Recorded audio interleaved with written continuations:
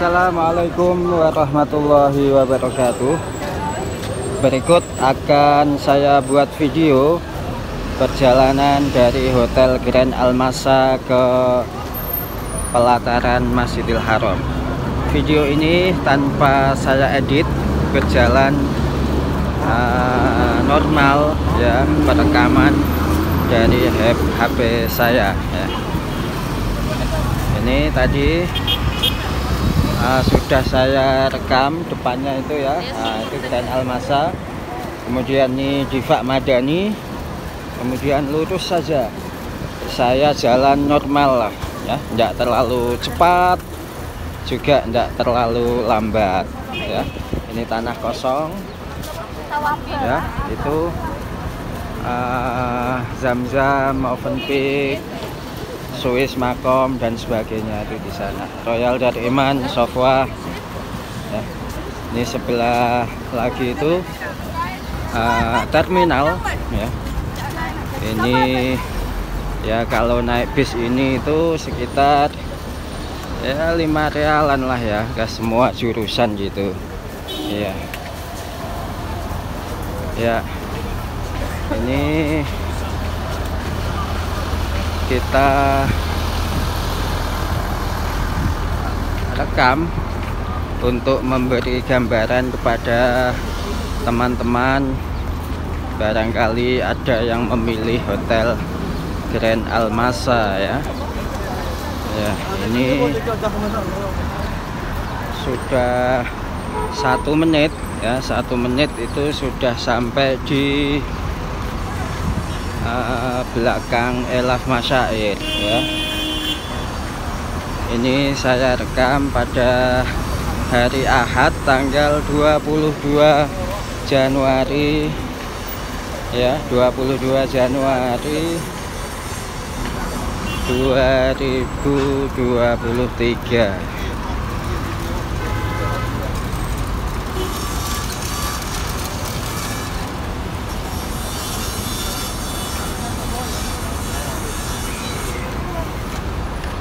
ya ini bis-bis. Ya. Saya jalan santai sekali enggak ngebut. Ya. Melangkah kaki normal lah ya. Ini uh, terminal bis. Ya. Terminal bis. Itu Ajiat Makarim depan kita itu. Ajiat Makarim. Ini Elaf Elaf Hasair ya Ya.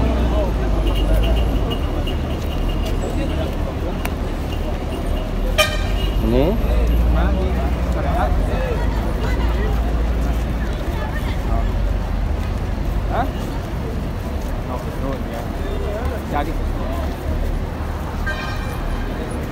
Ya. Di sini sering orang membagi sabilillah membagi makanan, minuman secara gratis untuk jamaah umroh yang lewat. Ya. Mereka berasal dari muhsinin yang ingin berbagi kepada tamu-tamu Allah dan tamu Rasulullah. Ya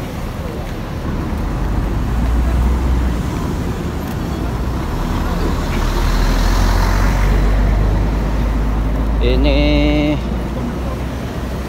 15 menit lagi adzan sholat asar. Ya.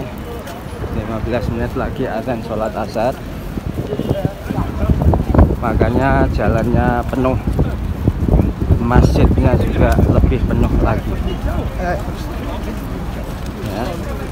kita jalan santai selain macet ataupun zahmah atau agak padat gitu ya itu juga memang langkah kaki tidak terlalu cepat gitu ya. Ya standar untuk orang-orang tua umur 50 60 tahun. Ya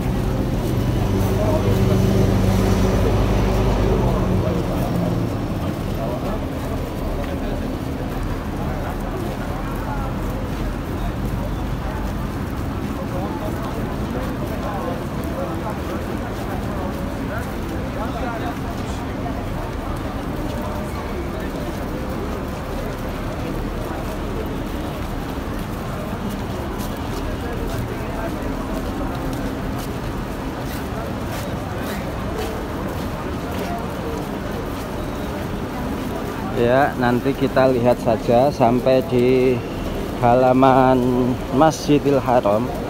Rekaman ini berjalan berapa menit gitu ya. Ini sampai di bawah jembatan ini 5 menit. Ya mungkin satu menit lagi sampai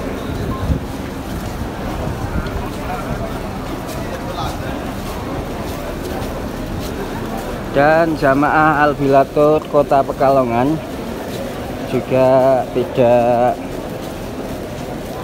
mengeluh ya dengan jarak yang uh, sekitar 5 sampai 7 menit ya.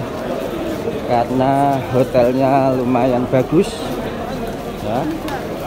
Hotelnya lumayan bagus Grand Almasa itu makanannya enak tempat makannya juga luas. Ya tidak seperti di Almasa yang sempit. Ya namun ada kelebihannya jaraknya lebih dekat tentunya ya ini sudah sampai di Dar Al Ghufran Sofwa.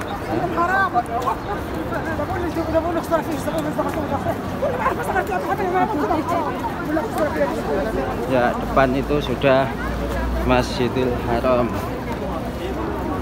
Ya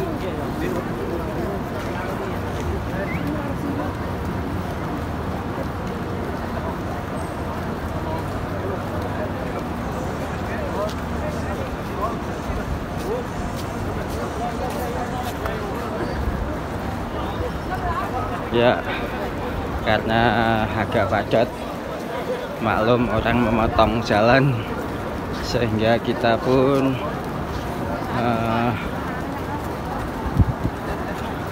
berpapasan bertatapan begitu ya. Ya kurang lebih sekitar 7 sampai 8 menit jalan santai ya. Jarak antara Grand Almasa dengan uh, Masjidil Haram. Ya kita sudah sampai.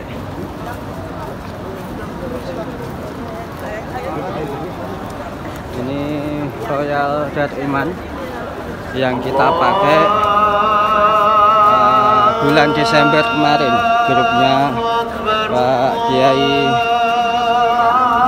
Abah Lutfi dari Ponpes Al Inaroh Batang. Kita sudah sampai di Masjidil Haram Mekah dan waktu azan sudah tiba. Saya akhiri video ini. Semoga bermanfaat.